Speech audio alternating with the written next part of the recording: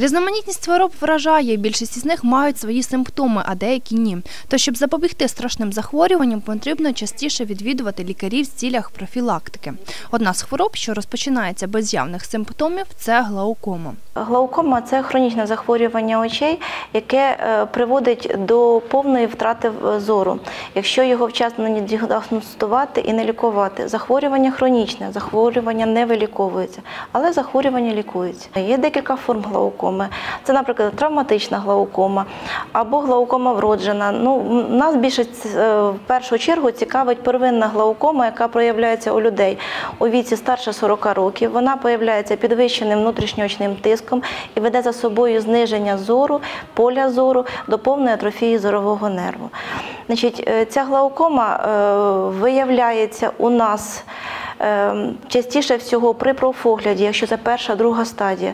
Потрібно спочатку зразу сказати, що глаукома має чотири стадії.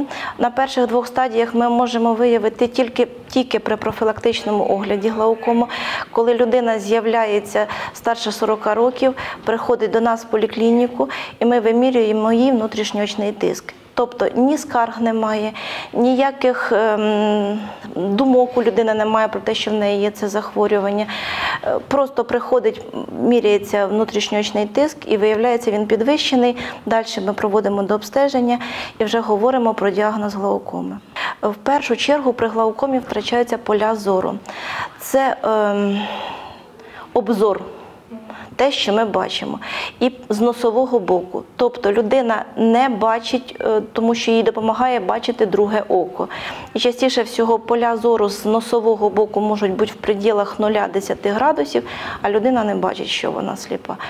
А коли е, е, зоровий нерв атрофувався, відновити його функцію практично неможливо. Як вже наголосив лікар-офтальмолог, що, на жаль, зір, втрачений внаслідок глаукоми, не підлягає відновленню. Тож бережіть свої органи зору, систематично відвідуйте окуліста. І пам'ятайте, найважливішим чинником для лікування наслідків глаукоми є максимально раннє виявлення. Анна Барник, Євген Третяк, спеціально для агенції Теленовин.